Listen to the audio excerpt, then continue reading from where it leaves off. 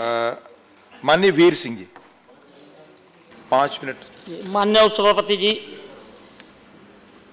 देश का आम बजट जब आता है तो उस पर सबसे ज़्यादा निगाहें आम आदमी की होती हैं। नौकर पेशा से लेकर छोटे छोटे कारोबारी और कामगार तक बजट में रायतों और लाभों की उम्मीद लगाए होते हैं। इस लिहाज से मैं देखें तो वर्ष 2019-20 का आम बजट आम जन के बड़े हिस्से के लिए निराश करने वाला हो सकता है। क्योंकि करों में कोई रियायतें नहीं हैं, न किसी छोटे मोटे फ़ायदे की गुंजाइश इसमें रखी गई है। यह पहली बार है कि बजट में कुल राजस्व खर्च और वित्तीय घाटे का उल्लेख नहीं है। बजट में गाँव गरीब और किसान की भी चिंता नहीं दिखती है। उन्हें हाशिए पर रखा गया है, आम आदमी पर बोझ डाला गया है। इसमें मनरेगा, मिड डे मील, स्वास्थ्य सेवा, अनुसूचित जाति, जनजाति और महिलाओं के लिए कोई भी योजना और आवंटित राशि का ज़िक्र नहीं किया गया है। महोदय, मैं कृषि के बारे में और किसान के बारे में कहना चाहूँगा, क्योंकि जैसा कि माननीय वित्त मंत्री जी ने कहा है अपने बजट में कि हम किसानों की आय दुगना करेंगे। कैसे करेंगे? इसके बारे में कोई योजना तो बताई नहीं है। महोदय, हमारा देश कृषि प्रधान देश है। लगभग सत्तर प्रतिशत देश की जनसंख्या का भाग कृषि पर निर्भर करता है। और देश की तरक्की गाँव कल्याण से होकर के जाती है। यदि गाँव खुशहाल है तो शहर खुशहाल होंगे, और गाँव और शहर दोनों खुशहाल होंगे, तब पूरा देश खुशहाल होगा, तभी देश की तरक्की संभव है। क्योंकि जब किसान के पास पैदा होता है, उसके, उसकी फ़सल का वाजिब मूल्य मिलता है तो मकान बनाता है। मकान बनाएगा तो दुकानदार पर जाएगा, सरिया सीमेंट खरीदेगा, शादी करेगा तो जेवर कपड़ा खरीदेगा तो व्यापार भी चलेगा। इसलिए सरकार को किसानों की तरफ़ ज़्यादा ध्यान देना चाहिए। आज किसान सबसे ज़्यादा घाटे में है।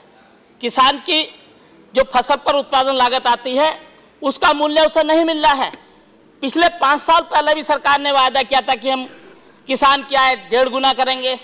इस बार कह दिया कि दो गुना करेंगे। कैसे करेंगे? इसके बारे में सरकार ने कोई उपाय नहीं किया है, कोई योजना नहीं बनाई है। आज किसान आत्महत्या कर रहा है। तो इसलिए हमें किसानों की तरफ़ सोचना होगा, क्योंकि किसान को यदि हम आगे बढ़ाएँगे तो देश आगे बढ़ेगा। इसके साथ साथ मैं बताना चाहूँगा शिक्षा के बारे में। शिक्षा के बारे में बजट में कोई ज़्यादा प्रोविज़न नहीं किया है। चौरानवे हज़ार आठ सौ तिरपन point four six four crore का प्रोविज़न किया है। किंतु इसमें शिक्षा के मामले में जो आज सबसे ज़्यादा हालत खस्ता है, वो प्राइमरी एजुकेशन की है। एक तरफ़ तो हम ये कह रहे हैं कि शिक्षा के स्तर को हम विश्व में नंबर एक पर करेंगे भारत को। आप कैसे करेंगे जब प्राइमरी में ही बच्चों को नहीं पढ़ाया जा रहा? एक तरफ़ तो मान्य सदस्यों ने कहा है कि मोदी सरकार पूरे देश में सबको एक समान करना चाहती है। यदि आप में हिम्मत है, यदि आप करना चाहते हैं, यदि आपके अनुसूचित जाति, जनजाति के प्रति आस्था है, उनको बराबरी पर लाना चाहते हैं तो आप पूरे देश में शिक्षा को एक समान करें। शिक्षा को एक समान करें, एक जैसी प्रणाली हो, तभी आप ला सकते हैं। तब मैं समझूँगा आप S C S T OBC के हितैषी हैं। जो सबसे बड़ा भाग है इस देश का, आपको उनको बिल्कुल चिंता नहीं है। यदि आपको चिंता है तो आज जो प्राइमरी में आज कक्षा एक से पाँच तक उनको अंग्रेज़ी नहीं पढ़ाई जाती, और उसमें गरीबों के ही बच्चे पढ़ते हैं। अनुसूचित जाति जनजाति, पिछड़ी जाति, और सर्व समाज में से गरीबों के बच्चे पढ़ते हैं। आज उनको पांचवी तक इंग्लिश नहीं पढ़ाई जाती तो कैसे बराबरी आप कर रहे हैं? कहाँ बराबरी कर रहे हैं आप? यदि आप S C S T OBC के हितैषी हैं तो पूरे देश में एक समान जैसी शिक्षा करो तब हम मानेंगे आप एस सी के हितैषी हैं। दूसरा जो छात्रवृत्ति जाती है केंद्र से प्रदेशों को आज पूरे देश में उच्च शिक्षा में और मध्यम शिक्षा में जो वजीफा जाता है वो दो दो तीन तीन साल से विद्यार्थियों को नहीं मिला है। डिग्री कर लेते हैं और एडमिशन हो जाता है एडमिशन फ़ीस नहीं जाती। जो मालिक है वो बोलते हैं कि आपको हम, आप पास कर लो, डिग्री दे देंगे। जब सरकार से पैसा नहीं जाता तो उनकी डिग्री नहीं मिलती। तो इसलिए मैं चाहूँगा कि छात्रवृत्ति समय पर पहुँचे। इसके साथ साथ आज आरक्षण, अभी तक देश को आज़ाद हुए सत्तर बहत्तर साल हो गए, अभी तक आरक्षण पूरा नहीं किया है। बैकलॉग खाली पड़ा है। मैं निवेदन करूँगा कि सरकार को बैकलॉग पूरा करने, करना चाहिए, जिससे कि बेरोज- बेरोजगारी समाप्त हो जाएगी। मान्यवर, मैं निवेदन करूँगा कि आज बजट में कहा गया है कि रेलवे में पहले से तो आपने बहुत सारे विभागों को प्राइवेट सेक्टर में दे दिया। आपने रेलवे को कहा अभी बजट में कि इसमें भी हम प्राइवेट सेक्टर को देंगे। तो प्राइवेट सेक्टर को तो आप दो, किंतु उसमें अनुसूचित जाति, जनजाति, पिछड़ी जाति के लोगों की भी तो चिंता करो, क्योंकि उनका आरक्षण खत्म हो रहा है बैकलॉग में जाने से।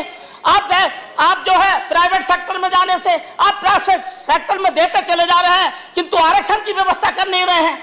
आप जब तक आरक्षण की व्यवस्था नहीं करेंगे तो फिर उसमें एस सी लोगों का कहाँ भला होगा, कहाँ नौकरी लगेंगी? इसलिए मेरा आपसे निवेदन है कि आप रेलवे को प्राइवेट सेक्टर में देने जा रहे हैं, आपने बजट में कहा है, किंतु आप प्राइवेट सेक्टर में देते समय आप आरक्षण की व्यवस्था करें जिससे कि अनुसूचित जाति जनजाति पिछड़े लोगों की नौकरी इसमें लगे आज अपने। करें, आपका समय खत्म की व्यवस्था करती है। हमारे दो बोल रहे थे मैंने उनका नाम कट करवा दिया इसलिए थोड़ा दो दो मिनट में उनके भी लूँगा। नहीं दो मिनट तो नहीं आप जल्द कंक्लूड। करें। आपका समय खत्म हो चुका है। तो दो एक मिनट ज़्यादा नहीं। अंतिम बात महोदय मैं अंतिम बात कह करके अपनी बात समाप्त करूँगा। आज पूरे देश में सरकारी विभागों में आउटसोर्सिंग प्रणाली ले आए, ठेका प्रथा ले आए। क्योंकि आप उद्योगपतियों को ठेका दे रहे हैं, सरकारी विभागों का, जो इंजीनियर है हमारा, जो एक लाख नौकरी पाता है, आप ठेके की प्रस्ताव कर व्यवस्था कर दी। वहाँ पर बीस बीस हज़ार पर आप लोगों को रख रहे हैं। जो ट्रेंड भी नहीं है, उससे बेरोजगारी और बढ़ रही है। तो मैं चाहूँगा कि इस ओर भी ध्यान देना चाहिए। आज बेरोजगारी जो बढ़ रही है महँगाई बढ़ रही है आपने पेट्रोल डीजल के दाम बढ़ा दिए। वीर सिंह आज जब पेट्रोल डीजल के दाम बढ़ेंगे तो भाड़ा बढ़ेगा भाड़ा बढ़ेगा तो रोज़मर्रा की वस्तु नहीं हो जाएगी। अगले वक्त को तो। इसकी सिंह गरीबों पर पड़ेगी। तो मैं कहना चाहूँगा कि डीजल पर इतनी महँगाई मत बढ़ाइएगा क्योंकि इससे पूरे देश की व्यवस्था चलती है। भाड़े से तो एक तरफ़ तो आप गरीबों के हितैषी हैं तो इसलिए यह बजट गरीबों का हित का नहीं है किसानों का हित का नहीं है यह बजट उद्योगपतियों के हित का है।